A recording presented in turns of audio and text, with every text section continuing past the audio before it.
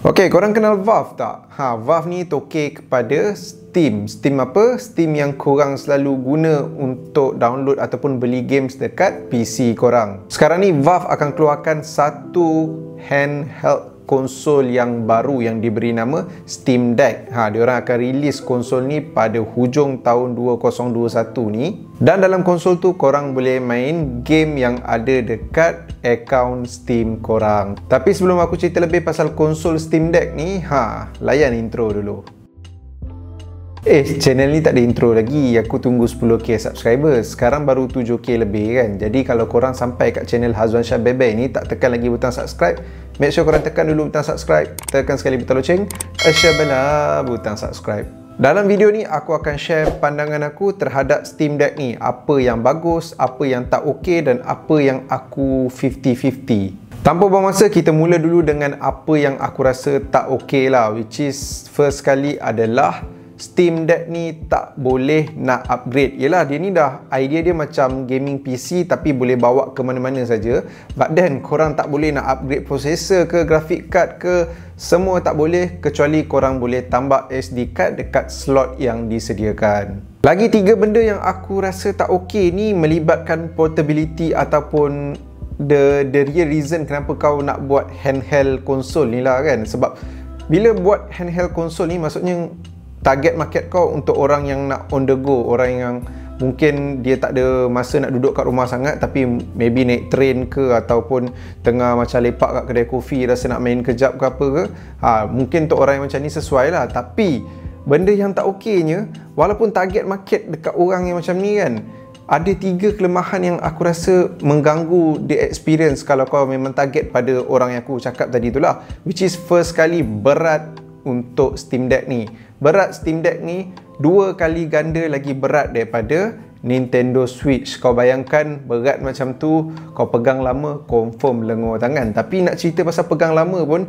belum tentu pun kau boleh pakai Steam Deck ni dalam satu tempoh masa yang lama. Sebab Steam ataupun Valve bagi tahu yang Steam Deck ni dia punya ketahanan bateri walaupun 40 watt dia target kita boleh guna Steam Deck ni 2 ke 8 jam. Ha bergantung pada apa kalau game tu high demand apa memang makan power yang tinggi ke apa ke mungkin boleh main dalam 2-3 jam je lah which is bateri tak power mana tak padu mana lah. Kalau kita main game indie game yang tak demand kalau kita tengok apa stream orang main video game ke apa ke mungkin can go for 8 hours but then the purpose of that thing is mestilah kita nak main game. Dan bila nak main game tu bayangkan kalau boleh main dalam 2 ke 5 jam saja kalau dekat luar memang mengharapkan tempat tu ada plug untuk kau nak cocok power cable. Dan satu lagi benda yang aku rasa turn off untuk Steam Deck ni hanya ada wifi connectivity. Tak boleh nak cocok LAN cable which is okey lagi lah benda tu kan. Tapi tak boleh nak masuk SIM card. Ha tak boleh nak letak kau punya SIM card Maxis nak dapat line ke apa 4G ke apa tak boleh. So basically kalau nak pakai internet ataupun main game online guna Steam Deck ni memang kena pergi dekat tempat yang ada wifi. Bayangkan kalau dalam train tu tak ada wifi potong. Mungkin lepak coffee bean ke McD ke ada wifi okey lah. Tapi kalau dah ramai sangat pakai wifi kat situ Aku confident yang internet speed ataupun internet connection kat situ tak berapa nak cantik. So mungkin akan mengganggu penggunaan internet bila gunakan Steam Deck ni Ataupun bila main game online. So dekat sini nampak beberapa point yang bagi aku consider kelemahan lah Kalau kau memang nak jadikan device ni sebagai satu device yang memang untuk orang on the go ataupun handheld kan. Boleh main kat mana-mana je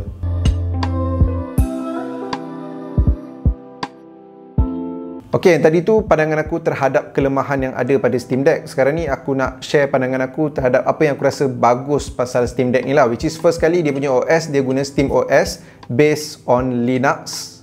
Linux, tak tahulah korang sebut macam mana. Dan dalam masa yang sama korang boleh je nak install Windows dalam Steam Deck ni. So bila dah pakai Steam OS dah pakai Windows OS dekat Steam Deck ni ha function macam uh, features macam mods boleh apply dalam Steam Deck. And then kau boleh install third party software. Bagi aku agak cool jugalah bila handheld kau still boleh mods dan boleh install third party software. Dan satu lagi benda yang aku rasa bagus pasal Steam Deck ni dia ambil idea daripada Nintendo Switch letak konsol tu dekat dock dan kau boleh main game dekat monitor ataupun TV which is another nice touch untuk Steam Deck ni. Ha tapi dock tu dijual berasingan tak bagi tahu lagi harga berapa harap tak mahal.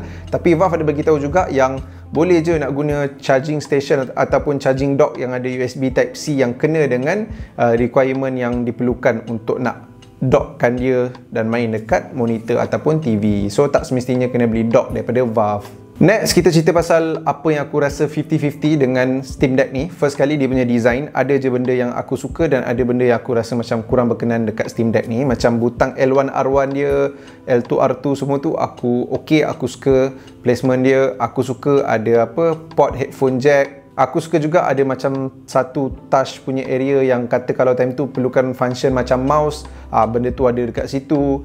Tapi benda yang aku kurang sikit macam placement button yang apa kalau macam PlayStation X pangkar tiga segi bulat tu kan. Ha yang ni aku tak ingat dia guna huruf apa semua A X Y B kot. Ha, macam Xbox tak, tak tak ingat lah tapi placement dia dekat sebelah analog tu rasa macam tah macam tak nice. So pasal tu aku kata design aku 50-50 sikit lah. Aku 50-50 juga dekat dia punya price dengan specs. Adakah memang apa pada price yang dia letak tu uh, equivalent dengan specs yang dia bagi? Sebab bagi aku dengan harga yang ok dia ada tiga variant. Uh, variant yang 64GB 256GB dengan 512GB tak silap aku. So dua variant yang tertinggi size dia tu guna NVMe maksudnya storage dia tu laju sikit compare dengan 60GB pakai storage yang slow. Tapi even harga, uh, variant yang paling mahal pun harga dia akan cecah dalam 2,500 ke 3,000 untuk harga apa duit Malaysia. Untuk harga tu boleh main gaming PC on the go aku rasa okay. But then bila ada bateri yang dia dah janjikan macam 2 ke 8 jam je aku dah rasa potong.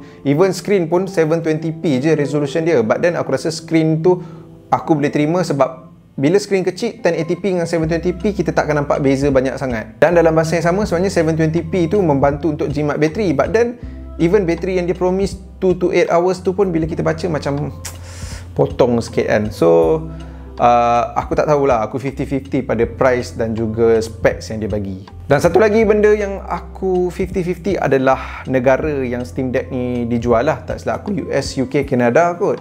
Tapi Malaysia memang tak ada. Uh, kenapa aku kata 50-50 patutnya ramai orang kata macam alah tak best lah. Benda ni tak bagus lah sebab tak dijual kat Malaysia kan. Bagi aku mungkin dalam masa yang tak bagus sebab yelah kita tak dapat benda tu kat tangan tak boleh nak review tak boleh nak apa tu yang tak best. Tapi yang bagusnya macam menjimatkan duit kita sikit untuk tak membeli benda ni dulu lah kot. Sebab ini diorang punya macam uh, first version kan. So diorang aku rasa diorang akan banyak lagi belajar bila apa first version ni dah keluar. Diorang akan tahu kat mana lagi nak improve. Bila dah ada second version mungkin time tu baru sesuai untuk beli kot so sekarang ni macam bila dia tak jual kat Malaysia lagi aku rasa macam okay kot. So adakah ini future untuk PC gaming? Sebab bukan Valve je yang buat benda ni sekarang. Alienware pun tengah planning untuk buat benda yang sama. Dan kita tengok apa yang Alienware buat tu pun nampak macam besar juga dan nampak macam berat juga. Sekarang ni pre-order dah buka tapi aku tak tahu masih ada lagi stok ataupun dah sold out But then kalau korang nak try pun tak tahulah VPN lepas ke tak. Just that kat Malaysia memang tak boleh beli lagi. Dan even brother Najmi daripada The Kampung Net pun bagi tahu is better untuk kita tunggu the second version lah Which is the first version ni dia akan nampak man- banyak mana je lompong yang ada dekat Steam Deck ni. And then bila keluar Steam Deck 2 nanti ke ha, Time tu dia akan improve dekat tang mana yang improve. Dan maybe time tu is a best time untuk kita dapatkan sebab dah ada satu konsol yang lebih better Konsol yang diorang dah belajar daripada mistake yang first mistake tu Okay guys, itu saja untuk video kali ini. Cuba korang komen kat ruangan komen kat bawah. Korang rasa berbaloi ke sebenarnya korang nak angkat Steam Deck ni? Korang nak ke beli Steam Deck ni? I'll see you guys again in the next video. Mother Father.